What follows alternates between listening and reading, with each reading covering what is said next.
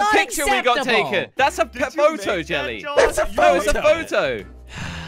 I'm not that short, okay? You know, I've yeah, met Crainer in real life, and he's just as short as me. All right, No, anyway, that is so